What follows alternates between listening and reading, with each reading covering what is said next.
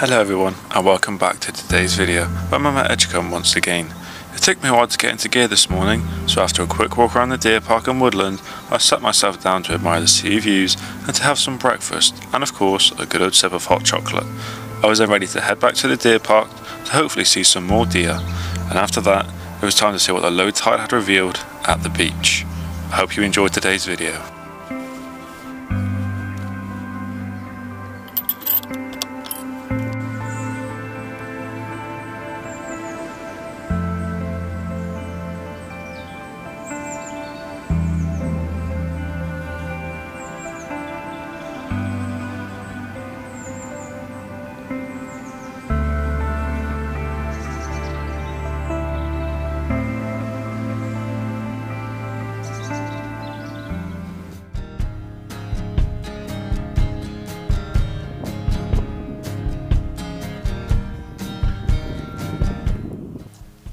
Hello guys and welcome back to another video. I hope you enjoyed my journey and all the things I've seen this morning.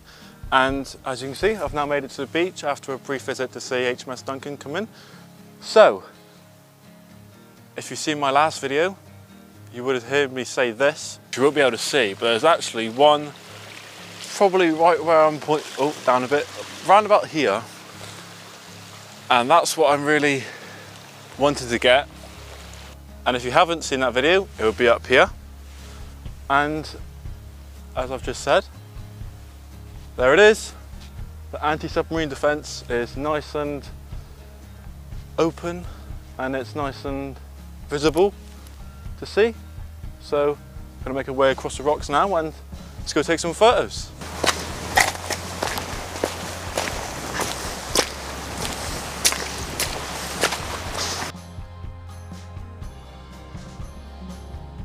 So here it is, down nice and close to it. Tide's on its way in, but I should be okay here for now.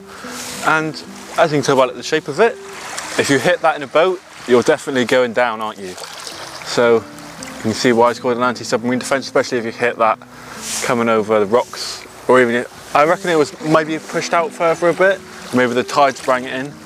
So when the like U-boats um, would try and come around uh, this channel, it would hit that and not make it any further in towards the dockyard and the Devil's Point area.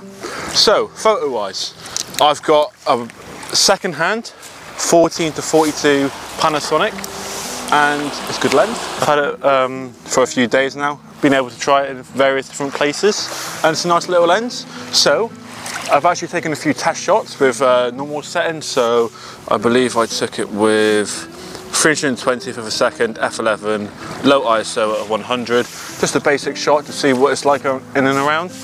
Um, and yeah, it was still a bit, bit boring really. So ND for it straight on. There we go. Just see that tide coming in quickly. Um, it will come in quickly here, but I should be okay in a specific position because the tide will come over the rocks and that's when I'll know it's time to go. Luckily my boots are somewhat waterproof as well.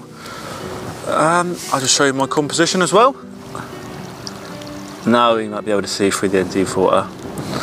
So, we've got the anti-submarine defence here. We've got the hoe here. Just make out Smeaton's tower there, which is perfect. And then we've got Cattedown behind there, and of course Drake's Island. It's looking really good, nice scene. And so I'm going to be shooting it in 16 to 9 ratio, like usual. Just put it back to manual. I like to shoot in manual. That's because I can have control of uh, all the settings. Boom. Three second timer. Oh, this tide's coming in quick. Maybe I'll have to move quickly than I thought.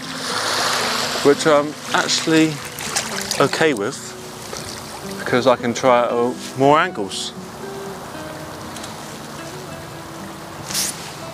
So that's looking like. Oh, here comes a wave. Cancel it there. Yeah, that looks nice. Just basic, but really nice still. Just gonna turn the settings down to five seconds now, an F11, because the hoe, with the reflections of the building, it's really, how can I say it? Kind of overexposing them a bit. So I'm just making sure to up the second timer second timer, the shutter, so it's all nice and equal. But yeah, looking good. Thank you for everyone's support on my last video, it's doing really well. So thank you for that. And if you're new here, hello. Perfect. Right, I'm actually, I'm gonna move myself that way to try and get a really nice panorama, hopefully including the hoe, really good clear view of Drake's Island and the anti-submarine defence to the right. So, let's do it. So, right into the new composition. Let's have a look. So, currently at 18 millimeters, I'm actually going to bring it back out to 14. Um, change the aspect ratio back to four thirds. I think that's how you say it. Please correct me if I'm wrong. But where's this? Right, that'll do me. Horizon straight. Just quickly gonna take one. Just trying to see what the foreground's like and the background like this. I've kind of got a plan already, but I just need to wait for the tide to come in a bit. See what that's like. Um, yeah, it's okay. I don't think I'll take many like that just because it's a bit too big and it's not really showing you what the main subject is, which of course is anti-submarine defence. So, change it back into 16 to 9 and get it nice and composed, like so. And then I'll put you onto the camera here. It's similar to the last composition actually. So now we've got the anti-submarine defence to the right, a clear view of Drake's Island. Might be able to see Smeaton's Tower there, just above the rock, which is nice. And then rest of the hoe. Here we go everyone. Press the shutter button, like that. Yeah, get in the shade. Here we go. Tide's coming in a bit quicker now. So I'll make sure to move location in a minute. There we go. Right, cancel it there. How's that looking? So, anti-submarine defence, nice and clear on the right. Drake's Island nice and clear in the middle. And to the left we've got Plymouth Hoe off in the distance. Is that nice and clear? Yeah, decent. And then we've got the foreground down here. Really nice photo and one I look forward to posting soon. And I like this. Really nice composition. It's got everything what was of interest, I guess you could say. So, back to manual. What have we got? Uh, six seconds, F11, ISO back to low 100. And I'll just take that whilst I speak to you. Looking good. Um, yeah, it's nice here. Nice to be able to come back and get a picture of it. I actually just noticed a bit of rope on the top there, which will be swaying in the photo. That's not a problem, it creates a bit of movement, which sometimes in photos you like to get. And of course, with the movement, it tells a story. And I always like to try and tell a story with my photos. Sometimes it's not easy to, but sometimes it's really easy to. So in this situation, we've got the anti-submarine defence, and that of course tells a lot of stories from back in the day. And unfortunately, I'm not sure of anyone who might know any stories, but hopefully one day I do when I come back again and I can tell you those. But yeah, really nice. Let's have a look at those photos, shall we? Yeah, they're really nice actually. And I'll put them up now.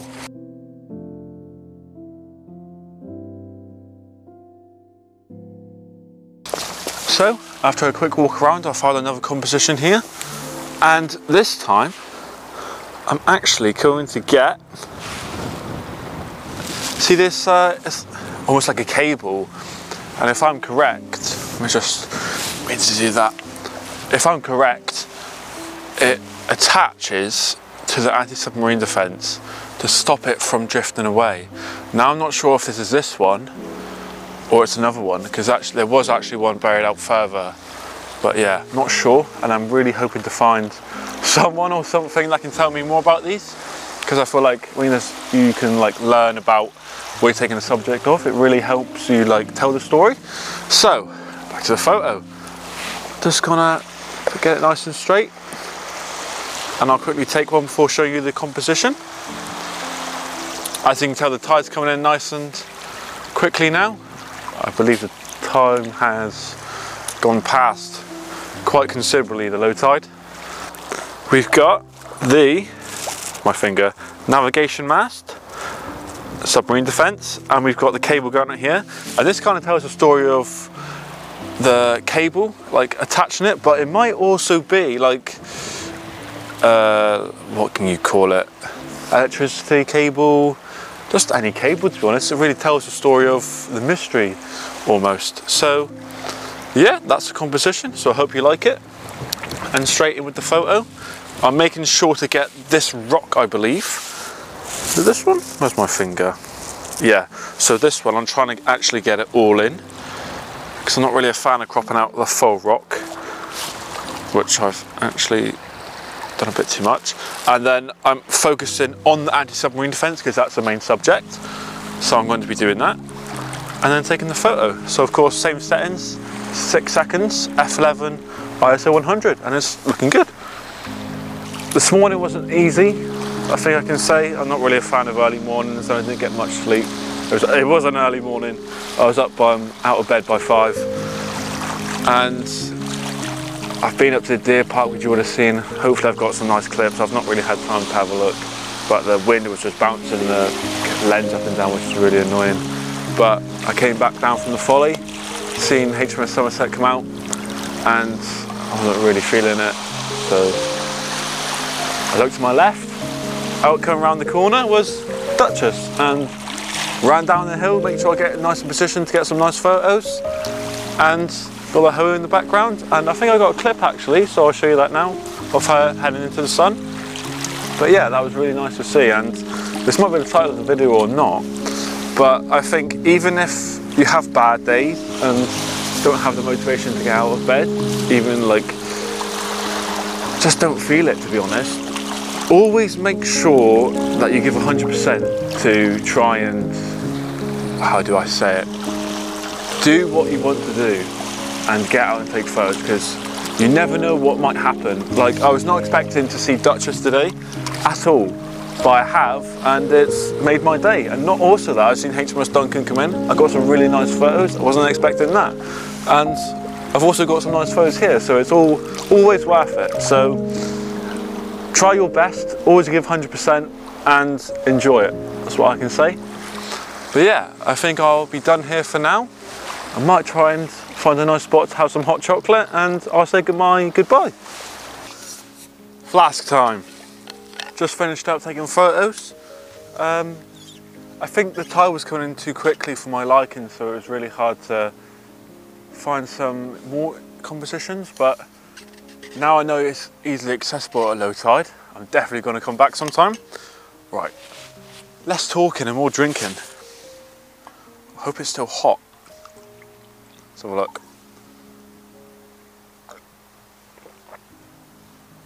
Just, just. Yeah, delicious. So, thank you for watching. I hope you've learned something and enjoyed the video. Um, I'm going to try and put some deer clips from the start and then some at the end. So if that's the case, I hope you enjoy those clips and I hope you enjoy the photos too. Thanks for watching. See you soon.